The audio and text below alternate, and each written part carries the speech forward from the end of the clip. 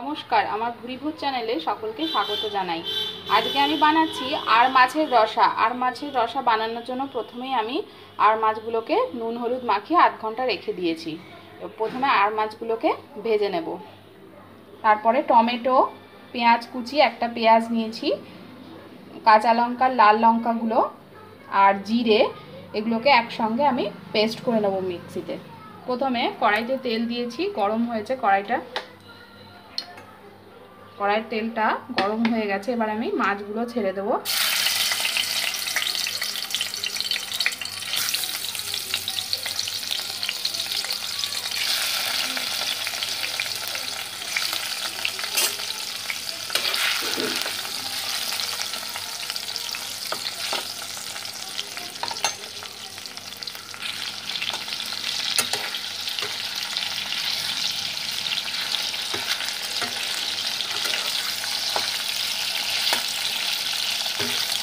মাছগুলোকে আমি ভেজে নেব।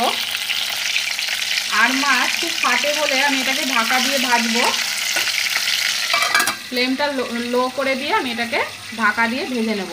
এক পিঠ হয়ে গেলে আরেক পিঠ ভেজে নেব। মাছগুলো ভাজা হয়ে গেছে। আমি তুলে ফেলছি মাছগুলোকে।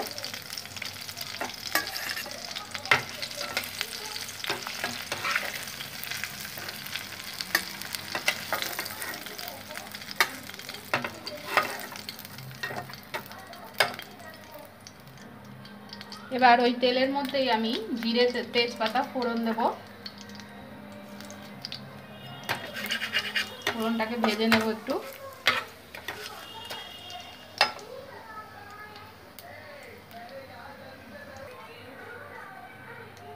ফোড়নটা ভাজা হয়ে গেছে, এবার আমি ডুমো ডুমো করে কেটে রাখা আলুগুলো ছেড়ে দিচ্ছি।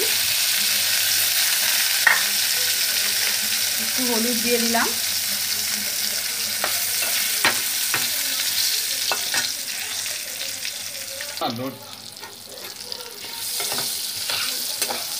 আলুগুলোকে ভেজে নেব।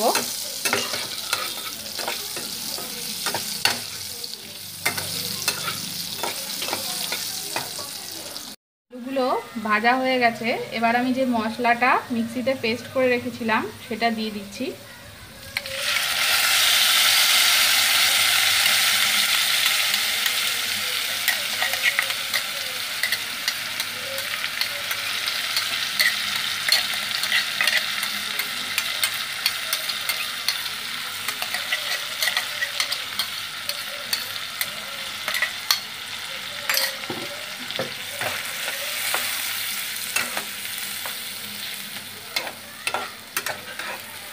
এবার এই মশলাটাকে আমি কষিয়ে নেব একটু। যেহেতু কাঁচা জিরে বেটেছি, তাই মশলাটা একটু বেশিক্ষণ ধরেই কষাতে হবে। যতক্ষণ না মশলা থেকে তেল ছেড়ে দিচ্ছে, আমি ততক্ষণ মশলাটাকে কষাবো। নইলে কাঁচা জিরে আদার গন্ধ বেরোবে। মশলাটা কষানো হয়ে গেছে। এবার আমি এতে একটু নুন দেব, স্বাদ মতো। কাশ্মীর লঙ্কার গুঁড়ো দিচ্ছি অল্প।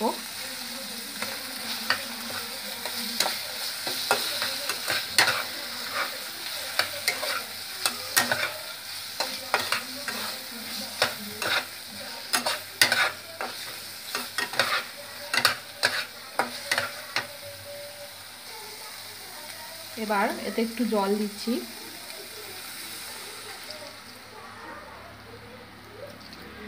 জলটা দিয়ে আলুগুলোকে সেদ্ধ করে নেব। আলুগুলো সেদ্ধ হয়ে গেছে, এতে আমি এবার গরম মশলা গুঁড়ো দিয়ে দিচ্ছি। এলাচ, লবঙ্গ, দারচিনি একটু গুঁড়ো করে রেখেছিলাম, দিয়ে দিলাম।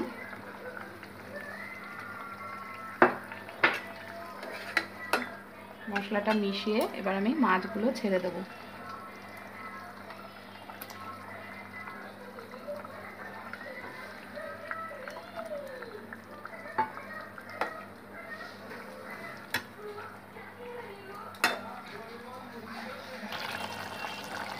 আমার আর মাছের রসা রেসিপিটা হয়ে গেছে। এই রেসিপিটা যদি আপনাদের ভালো লাগে, আমার চ্যানেল অবশ্যই সাবস্ক্রাইব করুন লাইক করুন শেয়ার করুন বেল আইকন প্রেস করুন, তাহলে আমার নতুন রান্নার নোটিফিকেশানগুলো আপনাদের কাছে পৌঁছে যাবে। ধন্যবাদ।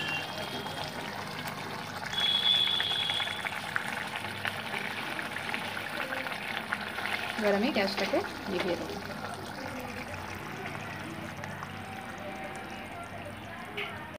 আমার আর মাছের রসা বা ঝোলটা রেডি হয়ে গেছে। আমি এটাকে সার্ভ করে দিয়েছি। গরম গরম ভাতের সঙ্গে এটা খাওয়ার জন্য রেডি হয়ে গেছে। কাতলা মাছ বা অন্য কোনো বড় মাছের প্রিপারেশনও এইভাবে করলে খুব ভালো লাগে খেতে। এই রেসিপিটা যদি ভালো লাগে, অবশ্যই আমার চ্যানেল কিন্তু সাবস্ক্রাইব করতে ভুলবেন না।